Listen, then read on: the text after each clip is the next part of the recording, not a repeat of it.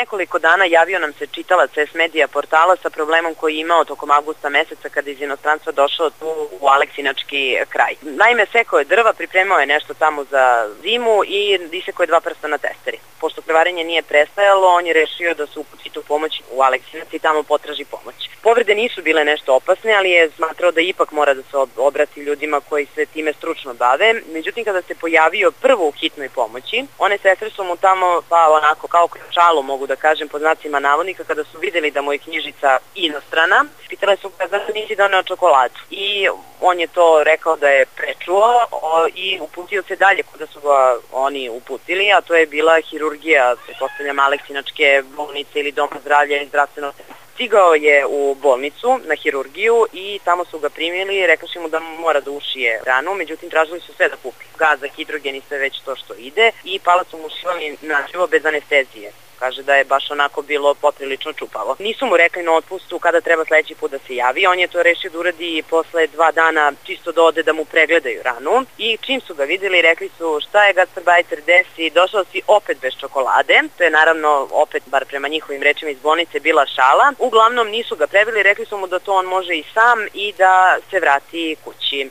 Posle jedno tri dana, on je naravno previo kad je došao kući koliko je umeo i znao. Posle tri dana vratio se u inostranstvo i prvo što uradio otišao doktora. Doktor je bio šokiran, prvo načinom na koje je rana ušivena, drugo pitao se zašto su korišćeni uopšte ti konci koji su inostranstvu ko ne koriste već godinama i ono što je najveći problem jeste što se rana bila zagnojila oko konaca, doktor je izvadio konce, morao da očisti ranu i ponovo da ušije ta mesta gde je njemu bio posečen uh, palac. Ja sam onda pozvala načelnika hirurgije u Aleksincu i uspela sam da ga dobijem posle jedno 3-4 pokušaja. To je doktor Dragan Ilić koji mi je rekao da što se tiče materijala, taj pacijent, tačnije naš čitalac je potpuno u pravu, jer on nema nikakve ingerencije oko nabavke materijala, to radi direktor zdravstvene ustanove, postoje dopisi koje je načelnik njemu slao, ali materijala fakat vrlo, vrlo često nema. Što se tiče šale medicinskih sestara da je on gastarbajter koji bi trebalo da im donese čokoladu, on je ubeđen da se radilo u šali i čak je postavio pitanje da se možda i sam pacijent sa njima nije šalio, pa jednostavno to je tako ovaj,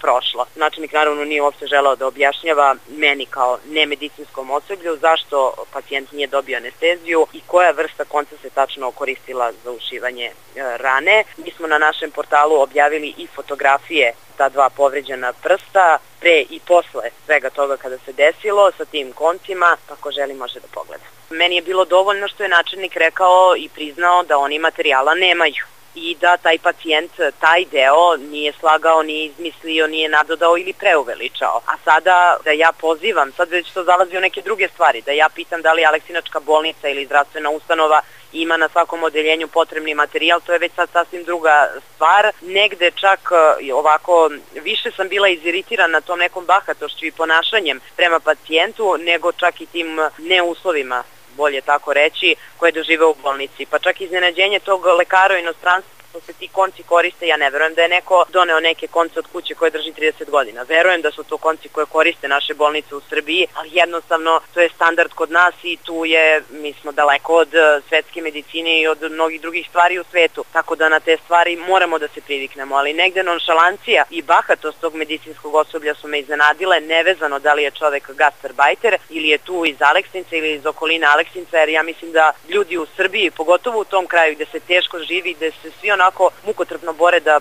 prežive svaki dan gde seljaci rade od jutra do mraka i gledaju nebo šta će im se desiti. I ostali koji žive u Aleksincu gde je nekada i privreda bila mnogo, mnogo razvijenija, da zaslužuju onako neku osnovno pažnju i jednostavno poštovanje kada se pojave u bilo kojoj tu kod vas javnoj